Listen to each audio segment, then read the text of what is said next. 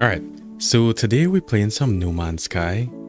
I decided to start building a base on one of the magnificent floating islands that they have available now in the latest update. Man, they look so, so good. So this is going to be the beginnings of the base. You'll see the outer shell just slowly form and it's going to be, it's going to be nice. Yeah, but I have a very funny story for y'all. So a few days ago, maybe around like midnight, 1 a.m., something like that. Our dog just decides to start barking. And if you all watch my streams, you know, like sometimes our dog barks like at neighbors that, you know, might come a little bit too close to the house or whatever, or a mailman, you know, usual dog things.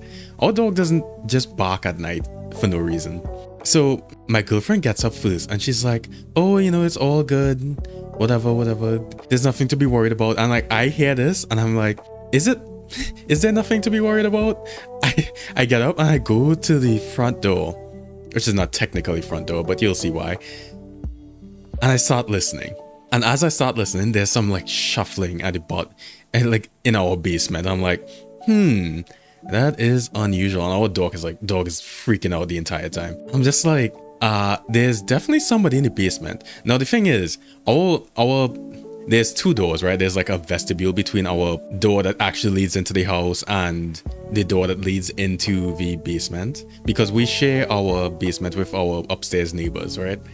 So this is why the door is unlocked. Now I live in a very, very safe town. Like nothing happens here. So when anything happens really, it's kind of news anytime any any sort of like serious you know violent crime happens everybody's like oh my god in this town i i can't believe it. You know i'm like hmm. I mean i could believe it but you know it is unusual that anybody gets stabbed or shot or any anything of the sort. So i keep listening. I'm like to my to my girlfriend i'm like all right so there's definitely somebody in the basement. I'm pretty sure it's not our neighbors. So we we just keep listening. We hear the guy just like shuffling around down there. I'm like some some is definitely awry. Then he comes back up the stairs to like what is our front door essentially. And my guy starts knocking on the door. And I'm like, hey, who is that? And he's then he starts shouting at me. Now the thing is, it is the most garbled shouting I've ever heard in my life where like nothing coherent came out whatsoever. It was very, very strange. Now, so both of us are like banging on the door. It, it this only takes like a few seconds. He he just like leaves the house after that. I'm like, okay, what what is this? Um so we look outside the window, the window that like looks out onto our street, and we see this guy. This guy in a green suit. Kind of balding, you know, kind of oldish. Looks kind of sketchy, but you know, you don't necessarily want to judge. But look, he looked kind of sketchy. Let's be real.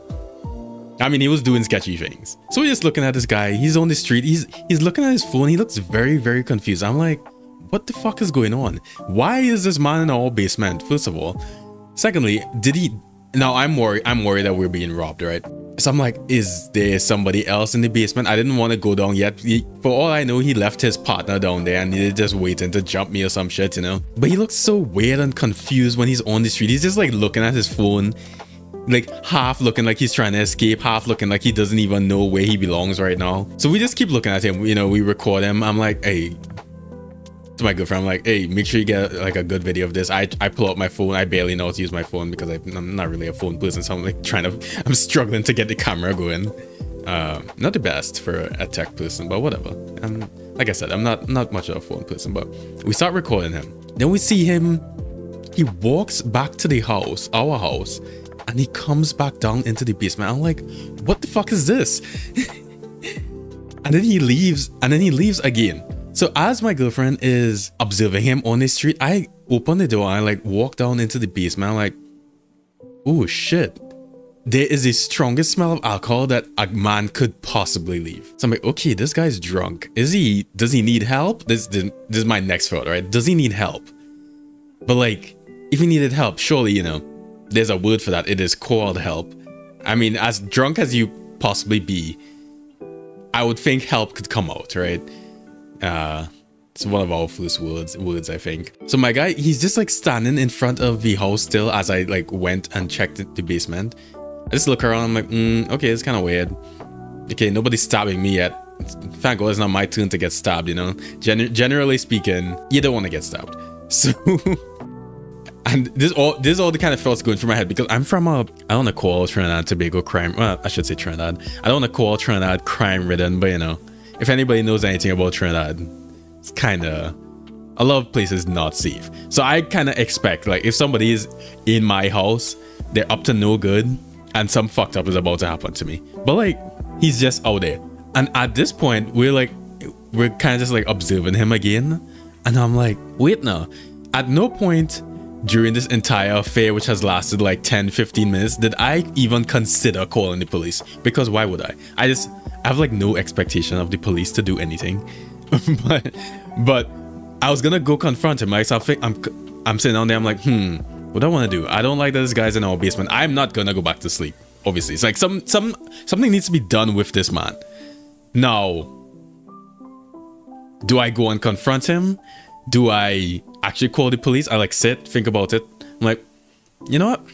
I'll call the police. Call the police. Describe describe like what the man looks like. You know, balding, oldish guy, middle age really green shirt etc etc right one the one detail i kind of regretted at the time saying i was like i smell alcohol because then i don't know what i you know i don't want anybody to just necessarily just get like even more fucked up if they needed help because in my head i'm still thinking like is this a neighbor that could possibly need some help you know you know give them a little bit of benefit of the doubt i, I like i know my general neighbors, but like, I'm not gonna necessarily recognize every single person, right? Obviously. But the dispatcher's like, okay, we're gonna get somebody out there soon. It'll be a few minutes. You just keep looking, you know, stay inside, whatever, sure, whatever. I, I, I'm not gonna go outside. The guy's fucking drunk. If I go outside, all of a sudden he's just like starts fighting me. He's like, "Who is you? Who are you? You're in my house." You know, one of those things where like they don't even know where they are. Um, so it takes a few minutes and then the police lights show up. I'm like, okay, the police are actually doing something. But it takes them a while to actually get to my house where they... Because at this point, the guy has like left the front of my house, so I can't see him anymore. So the police officer pulls up. I see him, you know, scoping out the front of our house. I'm like, hmm, first of all, that's not even the real entrance to, to my part of the house, but whatever. I, I was like kind of hoping he didn't wake up our neighbors, because that suck. It's like 2 a.m. at this point. I don't know. It's, it'd be kind of sucky to be woken up when you don't need to be. So eventually I, I come outside, I meet Mr. Officer. He's like, hey. I'm like, hey. Now, one one detail I didn't let you all know. I am very, very high. like so high that this is why I kind of like questioned if I smelled alcohol or not because I was like I don't like I don't remember. I'm I'm too high. I, I don't remember if I actually smelled alcohol if I just made that up and it was like three seconds ago. Holy shit. Not the best time to have an intruder not gonna lie. But I'm talking to the police officer, I'm you know telling him like what happened, the whole thing about like him being in the basement, us shouting at each other, him banging on the door. So we both go down in the basement and we're looking around. I'm looking around I'm like, hmm, is there someone still down here? I'm still assuming there's someone still down here. Because I'm not entirely sure what is happening yet. Even though like I think he's just like a drunk guy. But you never know. So I'm like scoping out the situation. I'm like, hmm, nobody's in our basement, nobody took anything. There's nothing really useful in my basement besides like boxes of of complete nonsense. So even if you steal something, like what are you gonna steal, right? Steal our fucking laundry, I don't know. But yeah, we look around, the officer asks me if I wanna leave a statement. I'm like, no, no. And he then he tells me he's like, yeah, that's just like a drunk guy with mental health problems. I'm like, yeah, definitely don't wanna press charges for breaking and breaking in or anything like that. Like I'm not gonna fuck up some guy's life just because he apparently doesn't even understand where he was or I'm not entirely sure what he was doing because the officer never told me. They just kind of like detained him and that was it. But yeah. And that's basically it. It was so weird. The, like the worst possible time to be high is when somebody's breaking into your house because you have like no idea what is going on. Oh god, it was uh definitely a interesting way to spend the night. And for the rest of that night, I didn't sleep because I was like, I, I don't know. I'm I'm already kind of really anal about my house. So and I mean I rent, but still, when I eventually own a house, I'm gonna have like infinite security cameras. You know, I again grew up in a crime-ridden country, so a little bit sensitive to that sort of thing. Like I know, like some people I know, they have break-ins and they will like confront the person and shit with a bat. I'm like, dog. I would expect to be shot in that situation. Not gonna lie. I mean, I, I live in Canada, right? So people have a different, uh, they have a different perspective on certain things, and one of those things for me, I realize now is crime. Uh, yeah, there's no way I'm walking out there with a bat. I need something a little bit stronger, but luckily, didn't need to do anything really. Just like observe the guy, watch him, make sure he's not up to, you know, no good. But yeah, that was our little house break-in. It was um, the most eventful thing that's happened to me in this town for the five years I've, I've lived in it. Kind of glad it was not actually that eventful in the end, thank God. So let me know if you guys had any encounters with uh, some strange people in your houses. Probably do. Uh, every now and then you might get somebody poking around in your uh, basement in your garage uh, let me know in the comment section below so like this video if you liked it the rest of this video is gonna be just me building doing some more base building it's from my live stream so there's commentary as well. And i will see you guys soon all right so take care.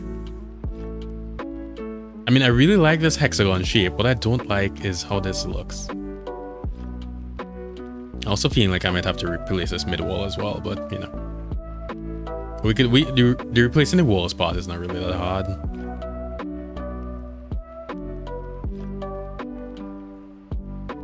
But wait, we have this small alloy triangle. How does that? Ooh, not good. I was gonna say, how does that look? The answer is it doesn't. It turns out. Like for example, you know, like I saw a bunch of um firefighters today. I guess there was a fire. That's why they would be there. And like, you don't feel any hate towards firefighters at all because they don't prey on you. The only thing firefighters do is save, you know, save your house when you fucked up and you put a candle next to a curtain. Don't do that.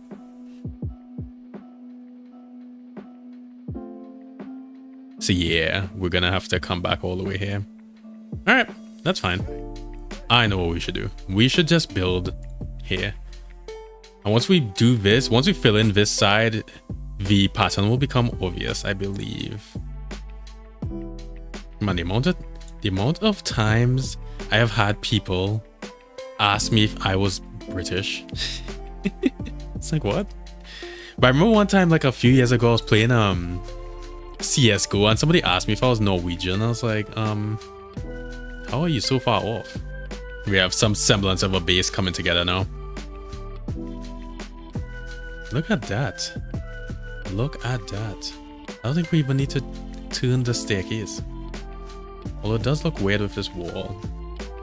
Oh, but once we replace the wall, it'll be fine. So whatever. You know, at some point, this is going to be how people build their houses in real life. They're to do this in a CAD program. Game, please.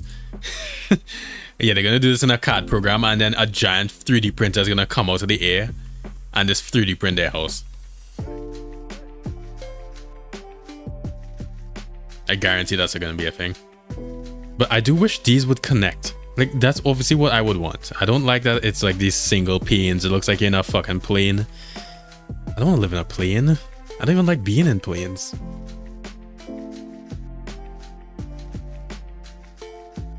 There's nothing worse than going to a plane and seeing that the person who's sitting down next to you is the same size as you. I don't want anybody like fucking six foot two going into a plane. Yeah, God, I want like some tiny Asian lady. That's that's my ideal seat partner. Preferably as old as possible so that you know they're definitely not gonna talk. uh. Me and my girlfriend talking about this the other day. We were just like, we both agreed tiny Asian lady is the ideal playing um seat partner. Definitely not giant black man like I am. Although I am, I am very courteous, not gonna lie. So I would, I would still make a decent seat partner. There's those people that will like try to take up five elbows and shit like that. It's like, um, are you even taking up this much space? I was thinking, do I want to do like a T and then have like three more domes? You know?